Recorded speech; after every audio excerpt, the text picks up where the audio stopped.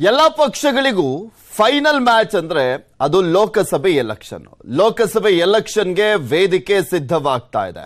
ಎರಡ್ ಸಾವಿರದ ಇಪ್ಪತ್ನಾಲ್ಕರ ಲೋಕಸಭೆ ಚುನಾವಣೆಗೆ ಭರ್ಜರಿ ತಯಾರಿಯನ್ನ ಮಾಡ್ಕೊಳ್ತಾ ಇದಾವೆ ಎಲ್ಲಾ ಪಕ್ಷಗಳು ಕೂಡ. ಬಿಜೆಪಿ ಕಟ್ಟಿ ಹಾಕುವಂತ ನಿಟ್ಟಿನಲ್ಲಿ ವಿಪಕ್ಷಗಳಂತೂ ಭರ್ಜರಿ ರಣತಂತ್ರವನ್ನ ಮಾಡ್ತಾ ಇದಾವೆ. ಒಂದು ಹೆಜ್ಜೆ ಮುಂದು ಅನ್ನುವ ರೀತಿಯಲ್ಲಿ. ಬಿಹಾರದ ಪಾಟ್ನಾದಲ್ಲಿ ಇದು ಮಹತ್ವದ ಸಭೆಯನ್ನ ಕರೆಯಲಾಗಿದೆ. ಬಿಹಾರ ಸಿಎಂ ನಿತೀಶ್ ಕುಮಾರ್ ಅವರ ನೇತೃತ್ವದಲ್ಲಿ ನಡೀತಾ ಇರುವಂತಹ ಒಂದು ಸಭೆ. ಈ ಸಭೆಯಲ್ಲಿ ರಾಹುಲ್ ಗಾಂಧಿ, ಕಾಂಗ್ರೆಸ್ನ ನಾಯಕ, ನ ಎಸಿಸಿ ಅಧ್ಯಕ್ಷರಾಗಿರುವಂತಹ ಮಲ್ಲಿಕಾರ್ಜುನ್ ಖರ್ಗೆ ಅವರು ಭಾಗಿಯಾಗ್ತಾ ಇದ್ದಾರೆ. ನ ಟಿಎಂಸಿ ಅಧ್ಯಕ್ಷರು ಹಾಗೆ ಪಶ್ಚಿಮ ಬಂಗಾಳದ ಮುಖ್ಯಮಂತ್ರಿಗಳಾಗಿರುವಂತಹ ಮಮತಾ ಬ್ಯಾನರ್ಜಿ ಪಿಡಿಪಿ ಅಧ್ಯಕ್ಷೆ ಮೆಹಬೂಬಾ ಮುಫ್ತಿ, ಅಖಿಲೇಶ್ ಯಾದವ್ ಅವರು, ಎಸ್ ಪಿ ಅಧ್ಯಕ್ಷರು ಹಾಗೆ ಆಪ್ನ ಅಧ್ಯಕ್ಷ ಅರವಿಂದ್ ಕೇಜ್ರಿವಾಲ್ ಎಲ್ಲ ಭಾಗಿಯಾಗಿದ್ದಾರೆ. ಮಲ್ಲಿಕಾರ್ಜುನ್ ಖರ್ಗೆ ಮಾತನಾಡ್ತಿದ್ದ ನೋಡೋಣ. ಭಕ್ತ ಜಿ, ತಾರೀಖ್ ಅನ್ವರ್ नासिर हुसैन जी और अखिलेश प्रसाद सिंह जी, जो पीसीसी के अध्यक्ष हैं, और शकील अमल खान, जो सीएलपी के लीडर हैं, नौजवान, उन सभी को, और इस मंच पे बैठे हुए सभी सीनियर लीडर्स कांग्रेस पार्टी के मुखिया, पार्टी के सभी नेतागण यहाँ पर जमा हुए हमारे युवा मित्र और सभी नेतागण और हमारे माध्यम के मेरे दोस्तों, मैं आपका ज़्यादा वक्त नहीं लेना चाहता हूँ, सिर्फ़ इतना ही कहना चाहता हूँ, ये जो कांग्रेस ऑफ़िस है ये बड़ा महत्व देश के इतिहास में रखता है। और इस ऑफ़िस से ही जो कोई नेता निकला, वो देश के आज़ादी के लिए लड़ा। और हमें खुशी है, गर्व है कि बाबू राजेंद्र प्रसाद जी इस देश के प्रथम राष्ट्रपति बने। वो इसी जगह से बने और यहाँ के लड़ाई से बने। तो आज ऐसे पवित्र जगह पे हम आए हैं और समय की कमी होने के कारण ज़्यादा बात भी नहीं कर सकते क्योंकि हम आम पार्टी की मीटिंग में हमको जाना है। तो मैं दोस्तों, आपको एक ही बात कहना चाहता हूँ। हम सारे विपक्ष पार्टी के लोग हम एक होना और मिलके आने वाले 224 में लड़ना और इसलिए राहुल गांधी जी ने पहला कदम उठाया और ವಿಪಕ್ಷಗಳ ಒಗ್ಗಟ್ಟಿಗೆ ಒಂದು ವೇದಿಕೆ ಸೃಷ್ಟಿಯಾಗಿದೆ ಎನ್ ಡಿ ಎತರ ಪಕ್ಷಗಳೆಲ್ಲವೂ ಕೂಡ ಒಗ್ಗಟ್ಟನ್ನ ಪ್ರದರ್ಶನ ಮಾಡ್ತಾ ಬಿಜೆಪಿಯನ್ನ ಎದುರಿಸುವಂತ ನಿಟ್ಟಿನಲ್ಲಿ ಒಂದು ವೇದಿಕೆಯನ್ನ ಸಿದ್ಧಪಡಿಸಿಕೊಂಡಿದ್ದಾರೆ ಫೈನಲ್ ಮ್ಯಾಚ್ಗೆ ಎರಡ್ ಸಾವಿರದ ಇಪ್ಪತ್ನಾಲ್ಕರ ಲೋಕಸಭೆ ಎಲೆಕ್ಷನ್ಗೆ. ಇದ್ರ ಬಗ್ಗೆ ಇನ್ನಷ್ಟು ಮಾಹಿತಿಯನ್ನು ನೀಡ್ತಾ ಹೋಗ್ತಾರೆ ನಮ್ಮ ಡೆಪ್ಯೂಟಿ ನ್ಯೂಸ್ ಎಡಿಟರ್ ಆಗಿರುವಂತ ರಾಘವೇಂದ್ರ ಗುಡಿ. ನಮ್ಮ ಜೊತೆ ಸಂಪರ್ಕದಲ್ಲಿ ಜಾಯ್ನ್ ಆಗ್ತಾ ಇದ್ರೆ ಗುಡಿ ನೋಡ್ತಾ ಇದ್ವಿ. ಎನ್ ಡಿ ಪಕ್ಷಗಳೆಲ್ಲರ ಒಂದು ಒಗ್ಗಟ್ಟಿನ ಪ್ರದರ್ಶನಕ್ಕೆ ಒಂದು ವೇದಿಕೆ ಸಿದ್ಧವಾಗಿದೆ. Final match Lok Sabha election. ಸಾಕಷ್ಟು ಪಕ್ಷಗಳು ತಮ್ಮ ಅಸ್ತಿತ್ವವನ್ನು ಹುಡ್ಕೊಳ್ತಾ ಇರುವಂತ ಸಂದರ್ಭ. ಬಿಜೆಪಿಯನ್ನ ಎದುರಿಸುವಂತ ನಿಟ್ಟಿನಲ್ಲಿ ಯಾವ ರೀತಿಯಾಗಿ ರಣತಂತ್ರಗಳನ್ನು ಹೆಣೆಯಲಾಗ್ತಾ ಇದೆ? ಈ ಸಭೆಯ ಹೈಲೈಟ್ಸ್ ಅಂತ ನೋಡೋದಾದ್ರೆ ಪೃಥ್ವಿ ಕಳೆದ ಎರಡು ಚುನಾವಣೆಗಳನ್ನ ಗಮನಿಸಿದ್ರೆ, ಅದರಲ್ಲೂ ಎರಡ್ ಸಾವಿರದ ಹದಿನಾಲ್ಕು ಮತ್ತು ಎರಡ್ ಸಾವಿರದ ಹತ್ತೊಂಬತ್ತರ ಲೋಕಸಭೆ ಚುನಾವಣೆಯನ್ನ ಗಮನಿಸಿದಾಗ ಕೆಲ ರಾಜ್ಯಗಳಲ್ಲಿ ಅಲ್ಲಿಯ ಸ್ಥಳೀಯ ನಾಯಕರು, ಸ್ಥಳೀಯ ಪಕ್ಷಗಳು ಬಿಜೆಪಿಗಿಂತ ಉತ್ತಮವಾಗಿರ್ತಕ್ಕಂಥ ಪರ್ಫಾರ್ಮೆನ್ಸ್ ಅನ್ನ ಮಾಡಿರೋದು. ಉದಾಹರಣೆಗೆ ನಾವು ನೋಡೋದಾದ್ರೆ ಇವತ್ತು ಪಶ್ಚಿಮ ಬಂಗಾಳ ಇರಬಹುದು, ಅಥವಾ ತಮಿಳುನಾಡು ಇರಬಹುದು, ಕೇರಳ ಇರಬಹುದು, ಆಂಧ್ರ ಪ್ರದೇಶ ಇರಬಹುದು, ಮುಂತಾದ ರಾಷ್ಟ್ರ, ಮುಂತಾದ ರಾಜ್ಯಗಳಲ್ಲಿ ಈ ಒಂದು ಬಿಜೆಪಿಗಿಂತ ಉತ್ತಮವಾದಂತಹ ಪ್ರದರ್ಶನವನ್ನ ಮಾಡಿತ್ತು. ಹೀಗಾಗಿ ಸಹಜವಾದಂತಹ ಒಂದು ಪ್ರಶ್ನೆಗಳು ಮೂಡ್ತಾ ಇತ್ತು.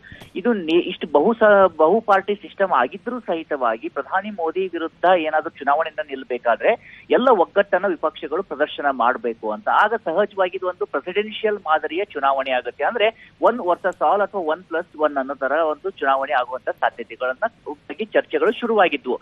ಆ ಚರ್ಚೆಗೆ ಮೂರ್ತ ರೂಪವನ್ನ ತರೋದಕ್ಕೆ ಕಳೆದ ಚುನಾವಣೆಯಲ್ಲಿ ಚಂದ್ರಬಾಬು ನಾಯ್ಡು ಸಾಕಷ್ಟು ಪ್ರಯತ್ನವನ್ನ ಮಾಡಿದ್ರು, ಆದ್ರೂ ಕೂಡ ಅವರು ಅಸಫಲರಾಗಿದ್ರು. ಆದ್ರೆ ಈ ಬಾರಿ ಆ ಒಂದು ಎಲ್ಲ ಪಾರ್ಟಿಗಳನ್ನ ಒಟ್ಟಿಗೆ ತರುವಂತ ಪ್ರಯತ್ನಕ್ಕೆ ಬಿಹಾರದ ಮುಖ್ಯಮಂತ್ರಿ ಆಗಿರ್ತಕ್ಕಂಥ ನಿತೀಶ್ ಕುಮಾರ್ ಅವರು ಕೈಯನ್ನ ಹಾಕಿದ್ದಾರೆ. ಅದಕ್ಕೆ ಮುಂದಡಿಯನ್ನ ಇವತ್ತಿಟ್ಟಿದ್ದಾರೆ ಆ ನಿಟ್ಟಿನಲ್ಲಿ ಪಟ್ನಾದಲ್ಲಿ ಇವತ್ತು ಬೃಹತ್ ಆಗಿರ್ತಕ್ಕಂಥ ವಿಪಕ್ಷಗಳ ಸಭೆಯನ್ನ ಆಯೋಜನೆ ಮಾಡಲಾಗಿರ್ತಕ್ಕಂಥದ್ದು. ಆ ಸಭೆಯಲ್ಲಿ ಭಾಗವಹಿಸೋದಕ್ಕೆ ಈಗ ಆಲ್ರೆಡಿ ಕಾಂಗ್ರೆಸ್ನಿಂದ ರಾಹುಲ್ ಗಾಂಧಿ ಬಂದಿದ್ದಾರೆ, ಮಲ್ಲಿಕಾರ್ಜುನ್ ಖರ್ಗೆ ಬಂದಿದ್ದಾರೆ, ತೃಣಮೂಲ ಕಾಂಗ್ರೆಸ್ನಿಂದ ಮಮತಾ ಬ್ಯಾನರ್ಜಿ ಬಂದಿದ್ದಾರೆ, ಆಮ್ ಆದ್ಮಿ ಪಕ್ಷದಿಂದ ಅರವಿಂದ್ ಕೇಜ್ರಿವಾಲ್ ಬಂದಿದ್ದಾರೆ ಡಿಎಂಕೆಯಿಂದ ಸ್ಟಾಲಿನ್ ಬಂದಿದ್ದಾರೆ, ಹೀಗೆ ಸಹಜವಾಗಿ ವಿಪಕ್ಷಗಳ ಪ್ರಮುಖ ನಾಯಕರೆಲ್ಲ ಅಲ್ಲಿ ಆಗಮಿಸಿದ್ದಾರೆ. ಅಲ್ಲಿ ಇವತ್ತು ಸವಿಸ್ತೃತವಾಗಿರ್ತಕ್ಕಂಥ ಚರ್ಚೆ ಈ ಬಗ್ಗೆ ಆಗುವಂತದನ್ನ ನಾವು ಗಮನಿಸ್ತಾ ಹೋಗ್ತೀವಿ. ಯಾಕಂದ್ರೆ ಈಗ ಭಾರತದಲ್ಲಿ ಹಿಂದೆ ಎಂದೂ ಈ ರೀತಿ ಆಗಿರ್ಲಿಲ್ಲ ಅಂತ ಅಲ್ಲ. ಈ ಹಿಂದೆ ಜನತಾ ಪಕ್ಷಗಳು ಒಗ್ಗಟ್ಟಾಗಿ ಚುನಾವಣೆಯನ್ನು ಎದುರಿಸಿದ್ವು. ಇಂದಿರಾ ಗಾಂಧಿ ವಿರುದ್ಧ ಆ ಸಂದರ್ಭದಲ್ಲಿ ಸಾಕಷ್ಟು ದೊಡ್ಡ ಪ್ರಮಾಣದಲ್ಲಿ ಗೆಲುವನ್ನ ಕೂಡ ಸಾಧಿಸಿದ್ರು. ಆದ್ರೆ ಆ ಒಂದು ಮಾಡೆಲ್ ಸಸ್ಟೇನ್ ಆಗಿತ್ತ ಅಂತ ನೋಡೋದಾದ್ರೆ ಖಂಡಿತ ಇಲ್ಲ. ಕೆಲ ಕಾಲ ಸಸ್ಟೇನ್ ಆಗಿದ್ರು. ನಂತರದಲ್ಲಿ ಮತ್ತೆ ಬಿಡಿ ಬಿಡಿ ಪಾರ್ಟಿಗಳು ತಮ್ಮ ಅಸ್ತಿತ್ವಕ್ಕೋಸ್ಕರ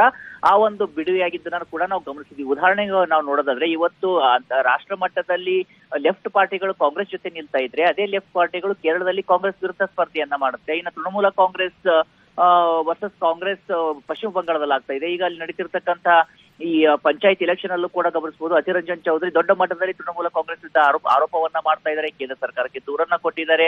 ಕೋರ್ಟ್ನ ಮೊರೆಯನ್ನ ಕೂಡ ಹೋಗ್ತಾ ಇದ್ದಾರೆ. ಹೀಗಿದ್ದಾಗ ಈ ಒಂದು ಮಾಡೆಲ್ ಎಷ್ಟು ಸಸ್ಟೇನ್ ಆಗುತ್ತೆ ಅಂತ ಪ್ರಶ್ನೆಗಳಿದಾವೆ. ಆದ್ರೆ ಪ್ರಯತ್ನಕ್ಕಂತೂ ಇವತ್ತು ನಿತೀಶ್ ಕುಮಾರ್ ಅವರು ಚಾಲನೆಯನ್ನ ಕೊಡ್ತಾ ಇದ್ದಾರೆ. ಹೀಗಾಗಿ ಸಹಜವಾಗಿ ಸುಮಾರು ಇಪ್ಪತ್ತಕ್ಕೂ ಅಧಿಕ ಪಕ್ಷಗಳ ನಾಯಕರು ಅಲ್ಲಿ ಸೇರಿ ಚರ್ಚೆಯನ್ನ ನಡೆಸ್ತಾರೆ. ಈ ಮುಂಬರುವಂತ ದಿನಗಳಲ್ಲಿ ಯಾವ ರೀತಿಯಾಗಿ ಈ ಒಂದು ತಮ್ಮ ಒಗ್ಗಟ್ಟನ್ನ ಪ್ರದರ್ಶನ ಮಾಡಬೇಕು. ಚುನಾವಣೆಗೆ ಅಂದ್ರೆ ಎರಡ್ ಸಾವಿರದ ಇಪ್ಪತ್ನಾಲ್ಕರ ಲೋಕಸಭಾ, ಲೋಕಸಭೆ ಚುನಾವಣೆಗೆ ಯಾವ ರೀತಿಯಾದಂತಹ ಸಿದ್ಧತೆಗಳನ್ನ, ತಯಾರಿಯನ್ನ ಮಾಡ್ಕೊಳ್ಬೇಕು ಅನ್ನೋದ್ರ ಬಗ್ಗೆ ಕೂಡ ಇವತ್ತು ಚರ್ಚೆ ಆಗುತ್ತೆ. ಹೀಗಾಗಿ ಮುಂಬರುವಂತ ದಿನಗಳಲ್ಲಿ ಆದ್ರೆ ಇವತ್ತು ಆ ಸಭೆಗೆ ಮಾಯಾವತಿ ಅವರು ಬರ್ತಾ ಇಲ್ಲ ಬಿಎಸ್ಪಿ ಪಕ್ಷದ ಮಾಯಾವತಿ ಅವರು ಬಂದಿಲ್ಲ. ಹೀಗಾಗಿ ಜೊತೆಗೆ ನವೀನ್ ಪಟ್ನಾಯಕ್ ಬರ್ತಿಲ್ಲ. ಹೀಗಾಗಿ ಸಹಜವಾಗಿ ಆ ರೀತಿಯಾದಂತಹ ಪ್ರಶ್ನೆಗಳು ಕೂಡ ಇದಾವೆ. ಎಲ್ಲರೂ ಒಟ್ಟಾಗ್ತಾರ? ಅಥವಾ ಕೆಲ ರಾಜ್ಯಗಳಲ್ಲಿ ಮಾತ್ರ ಒಗ್ಗಟ್ಟು ಪ್ರದರ್ಶನ ಸಾಧ್ಯ ಆಗುತ್ತಾ? ತಮ್ಮ ಅಸ್ತಿತ್ವಕ್ಕೋಸ್ಕರ ಪಕ್ಷಗಳು ಏನ್ ಮಾಡ್ತವೆ ಅಂತ ಕೂಡ ಪ್ರಶ್ನೆಗಳಿದಾವೆ. ಹೀಗಾಗಿ ಸಹಜವಾಗಿ ಪ್ರಕ್ರಿಯೆ ಚಾಲನೆ ಸಿಕ್ಕಿದೆ.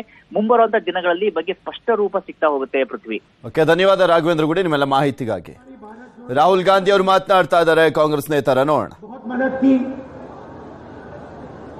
हर स्टेट में, अजीब सी बात थी, हर स्टेट में।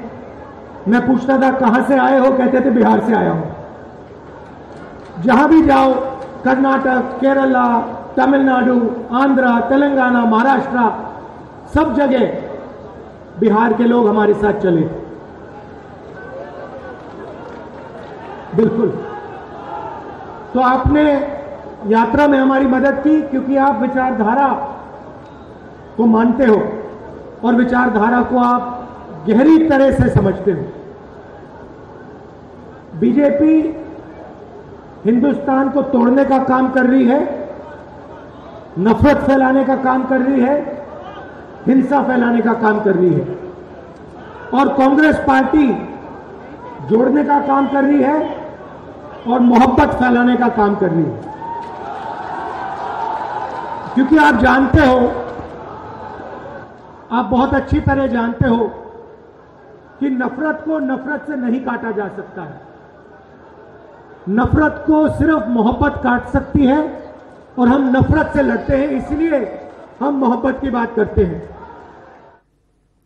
ಈ ಒಗ್ಗಟ್ಟು ಪ್ರದರ್ಶನಕ್ಕೆ ಒಂದು ವೇದಿಕೆ ಆಗಿದೆಯಲ್ಲ ಎನ್ ಡಿ ಏತರ ಪಕ್ಷಗಳ ಒಗ್ಗಟ್ಟಿನ ಪ್ರದರ್ಶನಕ್ಕೆ ವೇದಿಕೆಯನ್ನ ಸೃಷ್ಟಿ ಮಾಡಿದಂಥವ್ರು ನಿತೀಶ್ ಕುಮಾರ್ ಅವರು ಯಾವ ಕಾರಣಕ್ಕೋಸ್ಕರ ಈ ಸಭೆ ನಡೀತಾ ಇದೆ ಅನ್ನುವಂಥದ್ರ ಬಗ್ಗೆ ಒಂದು ಸ್ವಲ್ಪ ಮಾಹಿತಿಯನ್ನ ಕೊಡ್ತಾ ಹೋಗ್ತೀನಿ ನಿಮ್ಗೆ ಇಲ್ಲಿ ಪ್ರಮುಖವಾಗಿ ಈ ಒಂದು ಪಕ್ಷಗಳ ಒಗ್ಗಟ್ಟಿಗೆ ಕಾರಣ ಆಗಿರುವಂಥದ್ದು ಲೋಕಸಭೆ ಎಲೆಕ್ಷನ್ ಅಲ್ಲಿ ಗೆದ್ದು ನಾವು ಅಧಿಕಾರಕ್ಕೆ ಏರಬೇಕು ಅನ್ನುವಂಥ ನಿಟ್ಟಿನಲ್ಲಿ.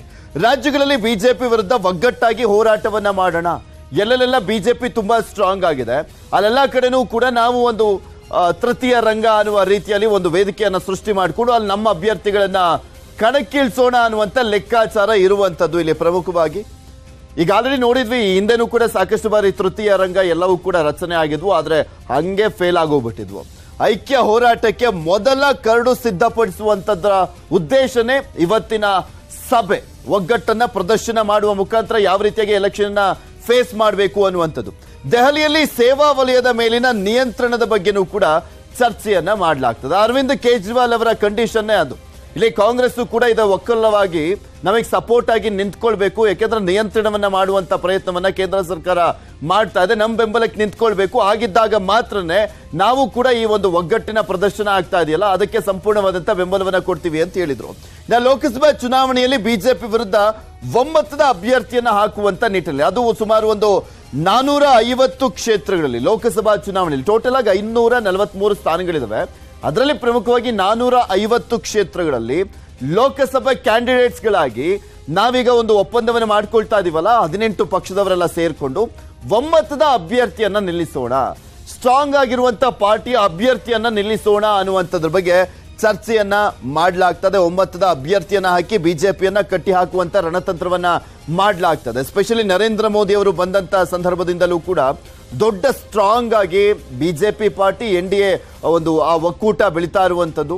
ಅದರಲ್ಲೂ ಸ್ಪೆಷಲಿ ಒಂಟಿ ಸಲಗದ ರೀತಿಯಲ್ಲಿ ನರೇಂದ್ರ ಮೋದಿ ಅವರು ಎಲ್ಲ ಪಕ್ಷಗಳನ್ನ ಕೂಡ ಅವರ ಒಂದು ಅಲೆಯಲ್ಲಿ ಅಂದ್ರೆ ಬೇರೆ ಬೇರೆ ಪಕ್ಷಗಳು ಸೋಲನ್ನ ಕಾಣ್ತಾ ಇರುವಂತದ್ದು ಸ್ಪೆಷಲಿ ಲೋಕಸಭೆ ಎಲೆಕ್ಷನ್ ಅಲ್ಲಿ. ರಾಜ್ಯಸಭೆ ಎಲೆಕ್ಷನ್ ಅಂದ್ರೆ ರಾಜ್ಯಗಳ ವಿಧಾನಸಭೆ ಎಲೆಕ್ಷನ್ ರಿಸಲ್ಟೇ ಬೇರೆ ರೀತಿಯಲ್ಲಿ ಇರುತ್ತೆ. ಆದರೆ ಮೋದಿಯಲ್ಲಿ ಲೋಕಸಭಾ ರಿಸಲ್ಟೇ ಬೇರೆ ರೀತಿಯಲ್ಲಿ ಇರುತ್ತೆ. ಸೊ ಹೀಗಾಗಿ ಅದನ್ನು ಹೇಗಾದರೂ ಮಾಡಿ ತಪ್ಪಿಸ್ಬೇಕು, ನಾವು ಅಧಿಕಾರದ ಚುಕ್ಕಾಣಿಯನ್ನು ಹಿಡಿಬೇಕು ಅನ್ನುವಂತ ಲೆಕ್ಕಾಚಾರಗಳು ಇವತ್ತಿನ ಒಂದು ಚರ್ಚೆಯ ಪ್ರಮುಖ ಭಾಗವಾಗಿದೆ.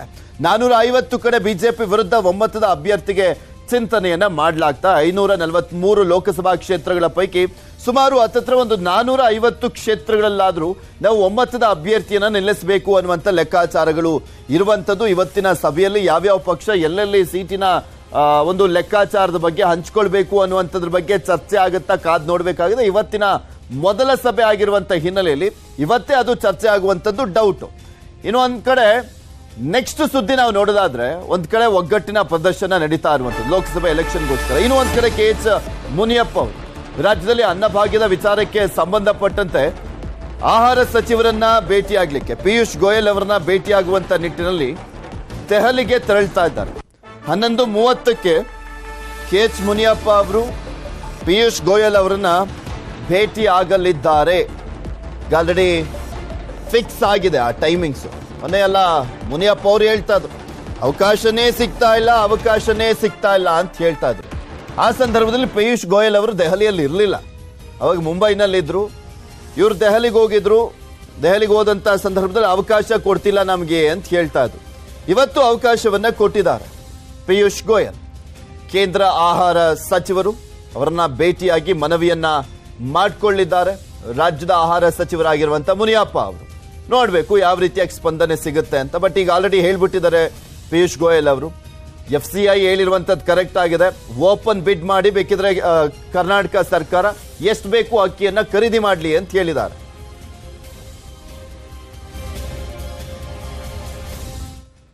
ಮತ್ತಷ್ಟು ಸುದ್ದಿಯನ್ನು ನಿಮ್ಮ ಮುಂದೆ ಇಡ್ತಾ ಹೋಗ್ತೀನಿ, ಆದರೆ ಅದಕ್ಕೂ ಮುಂಚೆ ಒಂದು ವೆಲ್ಕಮ್ ಬ್ಯಾಕ್ ಚಿಕ್ಕಮಗಳೂರು ಜಿಲ್ಲೆಯ ಚಾರ್ಮಡಿ ಘಾಟ್ನಲ್ಲಿ ಪ್ರವಾಸಿಗರು ಹುಚ್ಚಾಟವನ್ನು ಮರೆತಿದ್ದಾರೆ. ಅಪಾಯಕಾರಿ ಬಂಡೆಯ ಮೇಲೆ ಮಕ್ಕಳನ್ನ ಹತ್ತಿಸಿ ಹುಚ್ಚಾಟವನ್ನು ಮಾಡಿರುವಂಥದ್ದು. ಪ್ರವಾಸಿಗರು ಕಲ್ಲು ಬಂಡೆಗಳ ಮೇಲೆ ನಿಂತು ಸೆಲ್ಫಿಯನ್ನ ಕ್ಲಿಕ್ಕಿಸ್ಕೊಂಡು ಮೋಜು ಮಸ್ತಿಯನ್ನ ಮಾಡಿದ್ದಾರೆ. ಒಂದು ಸೆಲ್ಫಿಯನ್ನ ಕ್ಲಿಕ್ಕಿಸ್ಕೊಳ್ಳಿಕ್ಕೋಸ್ಕರ, ಸಾಮಾಜಿಕ ಜಾಲತಾಣದಲ್ಲಿ ಹಾಕುವಂತ ನಿಟ್ಟಿನಲ್ಲಿ ಲೈಕ್ಸು ಫಾಲೋವರ್ಸ್ಗೋಸ್ಕರ ಆಡಬಾರ್ದು ಆಟ ಎಲ್ಲ ಆಡಕ್ಕೆ ಹೋಗ್ತಾರೆ ಕೆಲವು ಅದರಲ್ಲೂ ಚಾರ್ಮಡಿ ಘಾಟ್ ಬೇರೆ, ಮೊದಲೇ ಕಿರಿದಾದಂಥ ರಸ್ತೆ. ಅಲ್ಲಿ ಗಾಡಿಗಳನ್ನ ನಿಲ್ಲಿಸ್ಕೊಂಡು ಇನ್ನಷ್ಟು ಟ್ರಾಫಿಕ್ ಜಾಮ್ ಅನ್ನ ಮಾಡ್ತಾ ಇದ್ದಾರೆ. ಆಲ್ರೆಡಿ ಅಲ್ಲಿ ಮಳೆಗಾಲ ಶುರುವಾಗಿರುವಂಥದ್ದು, ಮಳೆ ಬೇರೆ ಬರ್ತಾ ಇರುತ್ತೆ. ಟೈಮ್ನಲ್ಲಿ ಸಾಕಷ್ಟು ಆಕ್ಸಿಡೆಂಟ್ಗಳು ಆಗ್ತಾ ಇರುತ್ತೆ. ನಿಮಗೆ ತೋರಿಸ್ತಾ ಇದೀವಿ ದೃಶ್ಯಾವಳಿಗಳಲ್ಲಿ. ಗಮನಿಸ್ಬೋದು, ಒಂದು ಗಾಡಿ ನಿಲ್ಸಿದ್ರು ಸಾಕು. ಸಿಕ್ಕಾಪಟ್ಟೆ ಟ್ರಾಫಿಕ್ ಜಾಮ್ ಆಗುತ್ತೆ. ಆಂಬುಲೆನ್ಸ್ನವರೆಲ್ಲ ಪರದಾಡುವಂತ ಪರಿಸ್ಥಿತಿ, ಪಾಪ ರೋಗಿಗಳ ಪರಿಸ್ಥಿತಿಯನ್ನು ಹೇಳಿ. ಎಮರ್ಜೆನ್ಸಿ ಅಂತಾನೆ ಹೋಗ್ತಾ ಇರ್ತಾರೆ.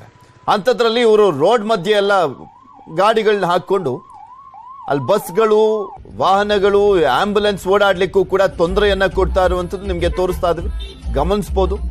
ರೋಡ್ ಮಧ್ಯೆನೆ ಗಾಡಿಗಳನ್ನು ನಿಲ್ಸ್ಕೊಂಡಂತ ಸಂದರ್ಭದಲ್ಲಿ ಯಾವ ರೀತಿಯಾಗಿ ಟ್ರಾಫಿಕ್ ಜಾಮ್ ಉಂಟಾಗ್ತಾ ಇದೆ ಅನ್ನುವಂಥದ್ದನ್ನ ಅಲ್ಲಿ ಫೋಟೋ ಕ್ಲಿಕ್ಕಿಸ್ಕೊಳ್ಳಿಕ್ಕೋಸ್ಕರ ಈ ರೀತಿಯಾಗಿ ಮಾಡ್ತಾ ಇದ್ದಾರೆ.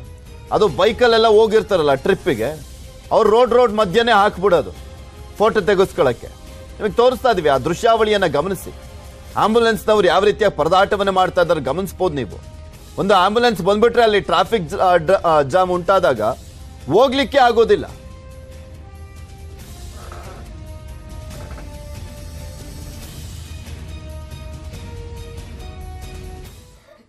ರಾಮನಗರದಲ್ಲಿ ಮದ್ಯಪಾನವನ್ನು ಮಾಡಿ ಪೊಲೀಸರೇ ಅರೆನಗ್ನ ಕಾಕಿ ಬಟ್ಟೆಯಲ್ಲೇ ಮದ್ಯಪಾನವನ್ನ ಮಾಡಿ ಮೋಜು ಮಸ್ತಿ ಮಾಡಿದ್ದಾರೆ. ಮಾಗಡಿ ಪೊಲೀಸರ ಎಣ್ಣೆ ಲೀಲೆ ವಿಡಿಯೋ ವೈರಲ್ ಆಗಿದೆ. Magadi ASI Manjunath Kudur crime PC ಆಗಿರುವಂತ ನಾರಾಯಣ. ಕೈದಿಯನ್ನ ರಾಮನಗರ ಜಿಲ್ ಈ ಒಂದು ಜೈಲಿಗೆ ಬಿಡಲಿಕ್ಕೆ ಹೋದಂತ ಸಂದರ್ಭದಲ್ಲಿ ಈ ಘಟನೆ ಆಗಿರುವಂಥದ್ದು. ಪೊಲೀಸರು ರಾಮನಗರದಿಂದ ವಾಪಸ್ ಮಾಗಡಿಗೆ ಹೋಗುವಂತ ಸಂದರ್ಭದಲ್ಲಿ ಎಣ್ಣೆ ಪಾರ್ಟಿ ಮಾಡಿದ್ದಾರೆ. ಸದ್ಯ ಕೈದಿ ಜೊತೆ ಎಣ್ಣೆ ಪಾರ್ಟಿ ಮಾಡಿಲ್ಲ. ಅವನನ್ನು ಬಿಟ್ಟು ವಾಪಸ್ ಬರುವಂತ ಸಂದರ್ಭದಲ್ಲಿ ಎಣ್ಣೆ ಪಾರ್ಟಿ ಮಾಡಿದ್ದಾರೆ. ಅದನ್ನ ವಿಡಿಯೋ ಮಾಡ್ಕೊಂಡಿದ್ದಾರೆ. ಅಲ್ಲಿದ್ದಂಥವ್ರು.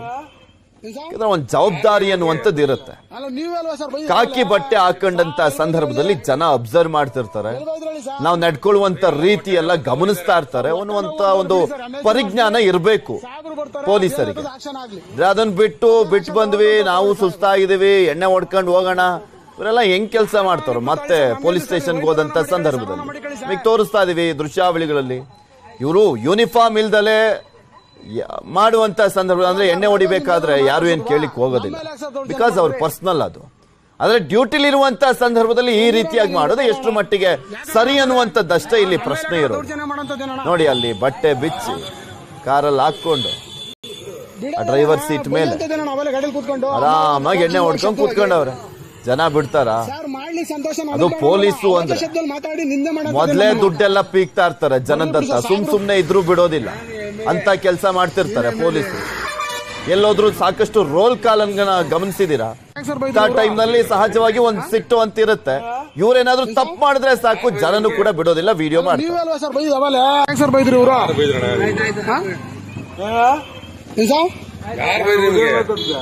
ನೀವಲ್ವಾ ಸರ್. ಬೈ ಅವಲ್ಲ ಸಾರ್ ಎಲ್ಲಿ ಬೈದ್ರಿ ಹೇಳಿ? ಎಲ್ಲಿ ಸರ್ ಅವ್ರ ಹೊಟ್ಟೆ ನೋವು ಅಂತ ಅವ್ರಿದ್ದಾರೆ ಸರ್ ಹೊಟ್ಟೆ ನೋವು ಅಂತಂದ್ರೆ ಬಿಡಿ ಸರ್ ಎಂ ಎಲ್ ಸಿ ಮಾಡಿಸ್ಲಿ. ಸಾಹೇಬ್ರು ಬರ್ತಾರೆ ಅದೇನಾಯ್ತದ ಆಕ್ಷನ್ ಆಗ್ಲಿ. ಅದೇನು ಆಕ್ಷನ್ ತಗೊಳ್ತಂತ ತಗೊಳ್ಳಿ ಸಾಹೇಬ್ರು. ಯಾರ ನೀವು ಕೂತಾಳಿ ಸರ್ ನಮ್ಗೆಂದು ಸರ್ ನೀವು ಐನೂರನ ಮಡಿಕಳಿ ಸಾವಿರನ ಮಡಿಕಳಿ ಸರ್.